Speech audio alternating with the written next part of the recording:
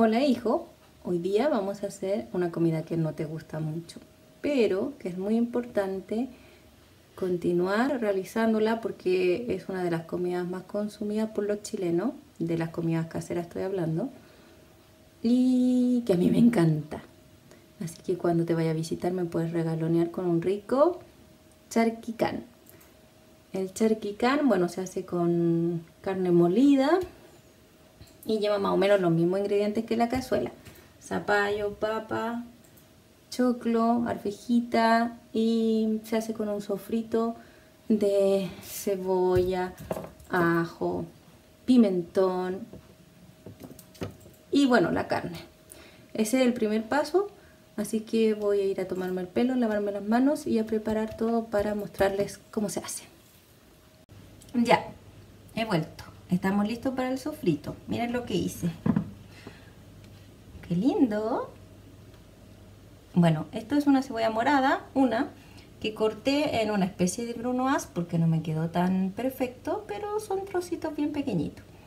Ajo, también en brunoise, y pimentón verde y pimentón rojo también en un corte irregular de brunoise. No perfecto, pero eh, parecido. Esto se hace así y el corte diferencia esta preparación porque si bien yo les dije que tiene los mismos ingredientes que la cazuela y también que las carbonadas, los cortes lo hacen diferentes y le dan la identidad al plato. Acá todo va eh, cortado en brunoise para el sofrito y después en trozos más o menos regulares, los cuales pueden quedar pequeños o bien molerse para la presentación final del charquicán. Voy a hacer el sofrito. Para eso lo que tengo que hacer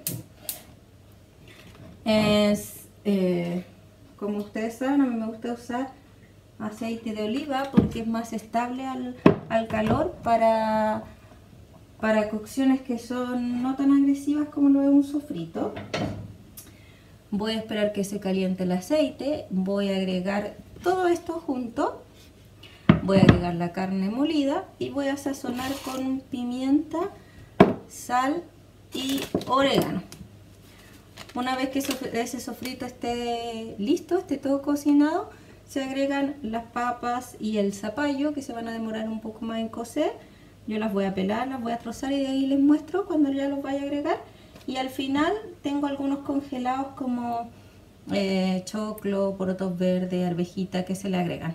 ¿ya? No tengo choclo congelado, así que voy a tener que usar uno al natural que voy a cocer y lo voy a desgranar. Ya, voy a hacer el sofrito después seguimos mostrando. Aquí quiero solo mostrarles cómo me quedó el sofrito. Eh, está cocido ya la cebolla, el ajo, el pimentón y la carne molida y la aliñé. Y ahora le voy a agregar agua para agregar los dos otros ingredientes que son la papa y el zapallo.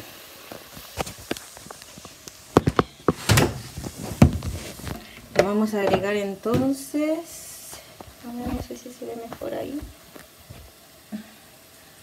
Agua hervida. Hasta cubrir la preparación. Y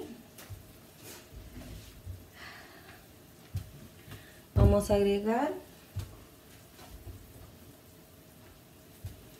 los trozos de papas y zapallo. Ya, la papa la vamos a cortar, depende del tamaño de la papa, pero yo la voy a cortar en dos.